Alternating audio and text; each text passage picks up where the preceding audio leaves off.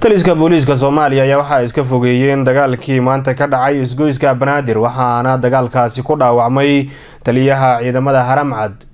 Warkan waxaa faahfaahinaya wariyahayaga magaalada muqdisho inooga soo warama ismaaciil aadan bariise. Taliska ciidamada booliiska soomaaliyeed oo war ka soo saaray dagaalkii saakay ka dhacay isgoyska banaadir ee magaalada muqdisho ayaa sheegay in dagaalka uu u dhexeeyey ciidamo ka wada tirsan militariga soomaaliya islamarkaana ay kala dhex galeen ciidamada booliiska soomaaliya. Waxauna waxba kama jiraan ku tilmaamay wararka sheegayay in dagaalka uu u dhexeeyey ciidanka booliiska iyo militariga afhayeenka ciidanka booliiska soomaaliya oo warbaahinta kula hadlay goobta lagu dagaalamay ayaa sheegay in dagaalka uu salka ku hayay murun ka dhashay dhul isku haystay. Waxauna afhayeenka ciidamada booliiska uu sheegay in dagaalka uu dhaawac ka soo gaaray taliyaha ciidamada harmacda. Bismillahi raxmaan raxiim waxaa saaka aroortii iskoorimaad ku dhex maray laba maleeshiyo isku haystay dhul ku yaalla isgooska banaadir.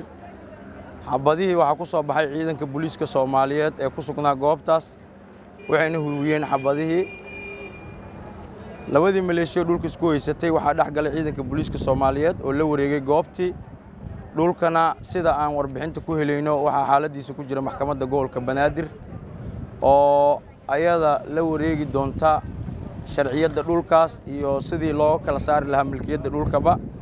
Laakiin ilaa amar dambe hadda waxaa gacanta ku haya ciidanka booliiska soomaaliyeed si loo sugo ammaanka goobta uu ku yaal dhulkaas iyo dadweynaha ku ag ganacsanayaba dagaalkan ayaa waxaa sidoo kale ka dhashay khasaare isugu jiray dhaawac ka soo gaaray dad shacab ahaa oo goobta ka agdhowaa sida ay wararka sheegayaan iyo burbur soo gaaray goobaha ganacsi ee ka agdhowaa goobta. Ismaaciil adan bariise telefishinka somaali cebal magaalada muqdisho